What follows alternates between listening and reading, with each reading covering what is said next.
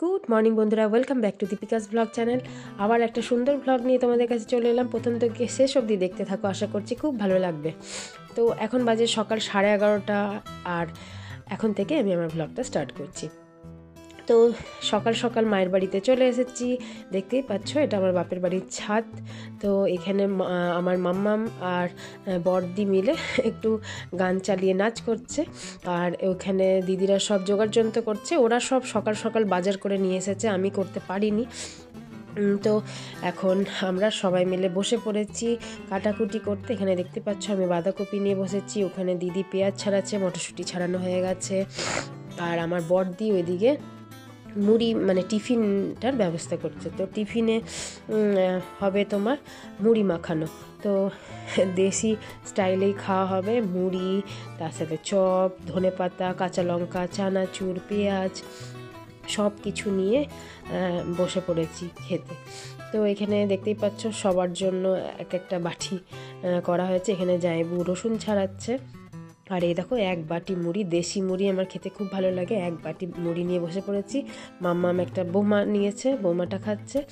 তো এরপর টিফিন খাওয়ার পর একটু দেখো পাগলামির নাচ নাচছি আমি, দিদির, আমার ছোটদির মেয়ে ওটা, আর এদিকে হচ্ছে মাম্মাম। তো পাগলের মতন নাচ করছি। তো যাই হোক এনজয় করার তাল খুঁজে নেওয়ার কিছুই না।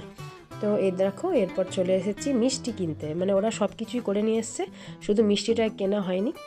মিষ্টি নিতে চলে আসছি, আর মিষ্টি কিনতে এসে মিষ্টি খাব না, তাই হয়। তো এখানে একটা কুড়ি টাকা নিয়েছে এই ভাড়ের মিষ্টিটা, খুব সুন্দর ক্ষীরের মিষ্টি নিয়ে নিয়েছি। আর মিষ্টি দেখলে মানে লোভ লাগে, এত সুন্দর সুন্দর এখনকার মিষ্টিগুলো।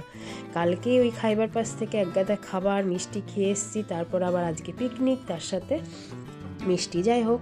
এরপর দেখো ঘরে চলে এসেছি। আর বেশি বড় ভিডিওটা করব না, ছোটোর মধ্যেই করব। তাই একদম ডাইরেক্ট চলে এলাম, রান্না হয়ে গেছে। কি কি রান্না হয়েছে দেখো, সাদা চালের ভাত, তার সাথে আলু দিয়ে, মটরশুঁটি দিয়ে বাঁধাকপির তরকারি, একদম শুকনো শুকনো।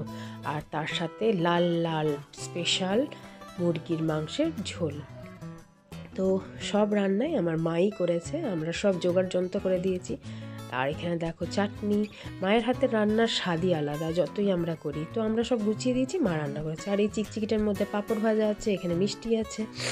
তো এই হচ্ছে আমাদের আজকে লাঞ্চ মেনু এখানে সবাই মিলে একসাথে বসে পড়েছি। ছাদের মধ্যে রোদ আসছে, রোদের মধ্যে শালপাতার থালাতে খেতে বসে গেছি। তো এই মানে এই পিকনিকের মজাই আলাদা। যতই তুমি বাইরে বিরিয়ানি ইয়ে খাও না কেন, ঘরের রান্না, মায়ের হাতের রান্না, তার সাথে সবার একসাথে খাওয়া, তার মজাই আলাদা। কিন্তু কি বলতো, যতই আনন্দ করি, তার মধ্যে একটা দুঃখ, কষ্ট রয়ে গেছে বাবার না থাকাটা। কারণ এর আগের বছর পর্যন্ত বাবার আমাদের সাথে ছিল হ্যাঁ? আর বাবা খুব এগুলো ভালোবাসতো, সবাইকে খাওয়াবে, সবার সাথে আনন্দ করবে। মানে বাবার মানে বাবার না থাকাটাতে কি বলব মানে ভাবা যাচ্ছে না। কিন্তু জানি বাবা আমাদের সাথেই আছে, আমাদেরকে হয়তো সবই দেখতে পাচ্ছে। কিন্তু মায়ের মন ভালো করতে, মাকে ভালো রাখতে এই আনন্দটা আমরা করে নিচ্ছি। তো চলো বন্ধুরা, আর বেশি বকবক করব না। এরপর বাবার ছবিটা দিয়েই লাস্ট করলাম ভিডিওটা।